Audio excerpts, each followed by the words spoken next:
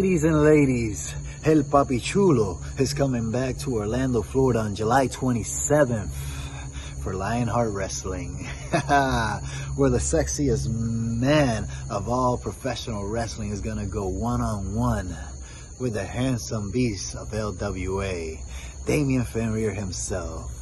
And what can Papi Chulo say about Damien Fenrir? Well, let's be honest.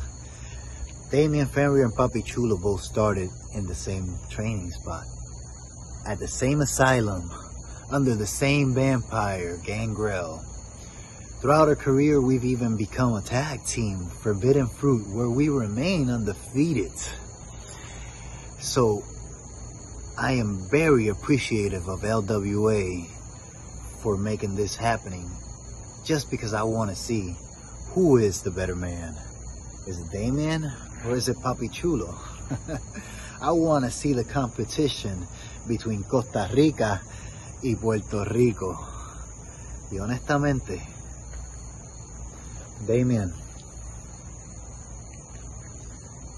I am very excited to face you on July 27th at Lionheart. I have no doubt that you and me are going to go to war. And you're going to have to kill me to pin me. That being said, the fans are going to have a great time. We're going to blow through the roof of LWA and we're going to show exactly what we're made of.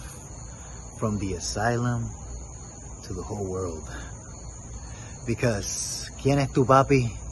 Yo soy tu papi.